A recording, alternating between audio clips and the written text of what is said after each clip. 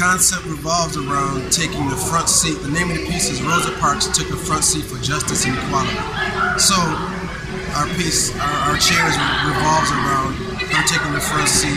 She's looking and gazing out at uh, the events that were taking place during the 60s, 50s, and um, you know, like people being fired with fire hoses, uh, dogs attacking, that sort of thing. The great speakers at the time, Malcolm X, uh, Martin Luther King. So we kind of did a montage, sort of slash collage through painting, acrylic paint, to bring this idea across.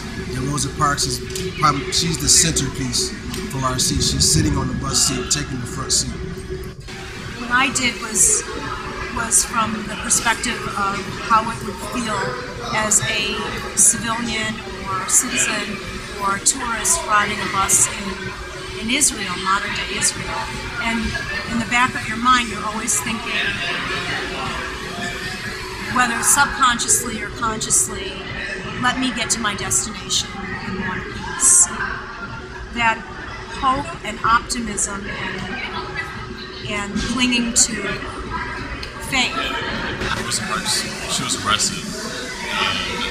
the fact that she went to jail wasn't really on people's minds when this issue happened. Fact that she stood up for herself and what she believed in. And that's, of course, the most important part. So I decided to point out this point of her being in jail over not because she should have been. There's no reason.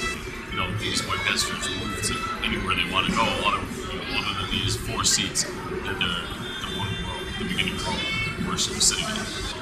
Basically, I decided to just leave it plain like that instead of coloring it because if I were to color it, it would just it would symbolize too much, really, is what it comes down to. And I just wanted to leave it plain like a normal bus suit, like a normal person. You know, that's everyone's the same. You know, it doesn't matter what color your skin. Bus suits are all the same too. really.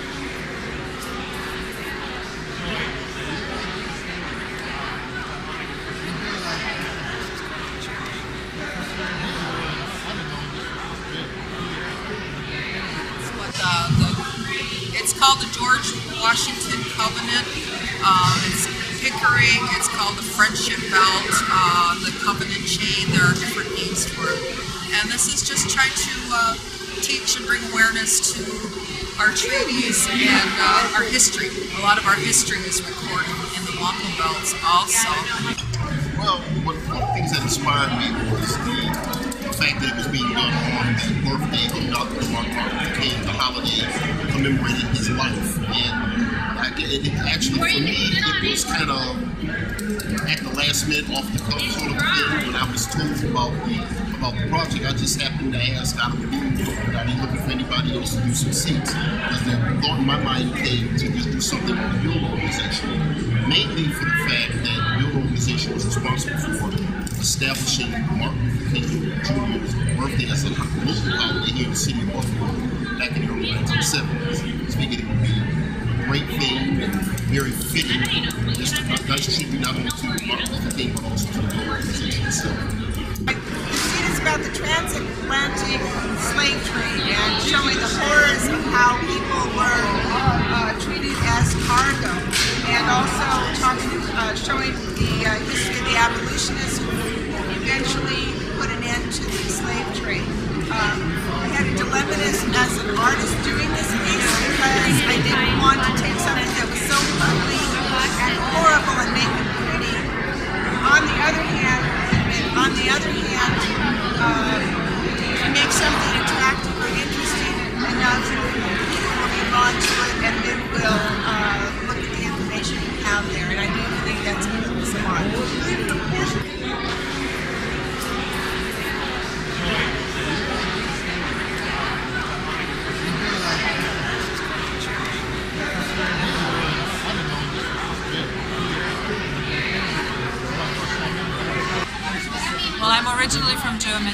I'm in Buffalo, New York, and I'm an AmeriCorps. Um, I'm also a public artist.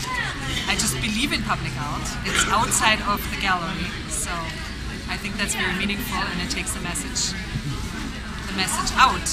And one of my favorites too, different and equal. All kinds of skin colors, hopefully the same amount of uh, color each. So equally spread over this bus seat, all kinds of skin colors being uh, representational of all of us. And next time you say, oh, this person is white or this person is black, you gotta think twice because none of us are um, actually white, right? Or black, for that matter. And this is also based on um, the idea that within an ethnic group there are more variations than from ethnic group to ethnic group. So the stereotyping that we try to do is actually kind of dysfunctional. I've called this seat um, "Moved by Mart by Martyrs," and uh, here's some of the volunteers right here. You guys should um, come over if you can. And what really inspired me when I think about the civil rights movement, I'm moved by martyrs. Um, I think that it was really the people who lost their lives and who gave their lives that propelled and pushed on the civil rights movement. I think the death of Dr. Martin Luther King, uh, the church bombing, I think that's what really etched in people's minds that this is crazy, this is senseless, this is wrong, this is an injustice. I think it was those atrocities that really um, changed changed the country. And so I want to really call to that to to the minds of, of people that see this so that we don't lose sight of that and to, so we won't lose sight of where we've come from and what brought us here. It is to represent Claudette Colvin, who went through the same thing Rosa Parks went through maybe nine months earlier.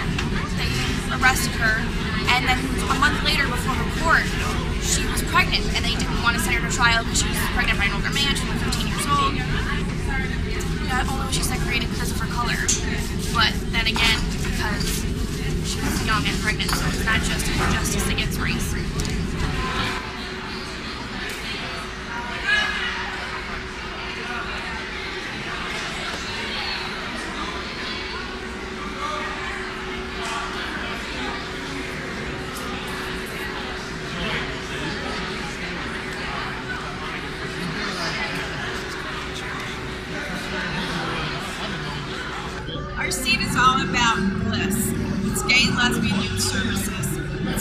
In downtown Buffalo. It's a drop-off center for um, gay, lesbian, bisexual, transsexual youth to come and just participate in activities, to get counseling if they need counseling, to have a place to go, so they don't feel like they're left out in the program, anything like that.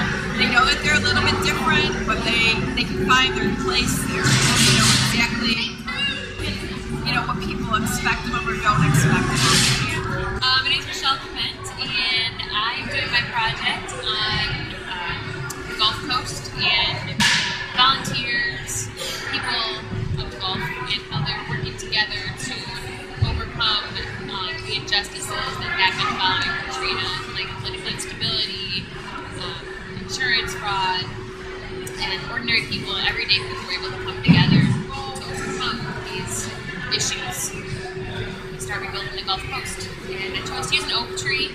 Oak trees are very symbolic of the Gulf Coast. They are full of life and integrity, and just like people of the Gulf Coast. Uh, well, we're from Locust Street neighborhood art classes in the Fruit Belt in the east side Buffalo. And when we were all discussing the scene, we thought throughout Black history, people have ended up walking on their feet a lot. When they were trying to escape from slavery, they walked, they bus boycott, they walked everywhere they had to go, so they were on their feet. So until we came up with the name Footsteps to Freedom. And the way we do all of our public art is we sort of let give the kids guidance so that they execute the work well, but we try to let them do a subject matter that they feel comfortable with. So we've had children as young as four years old work on this seat through the age of about 18 and 19 years old. Um, we've probably had about 15 to 20 people work on this seat. And the younger children just filled it with colors and painted it neatly. And some of the older kids were the ones who executed the footsteps.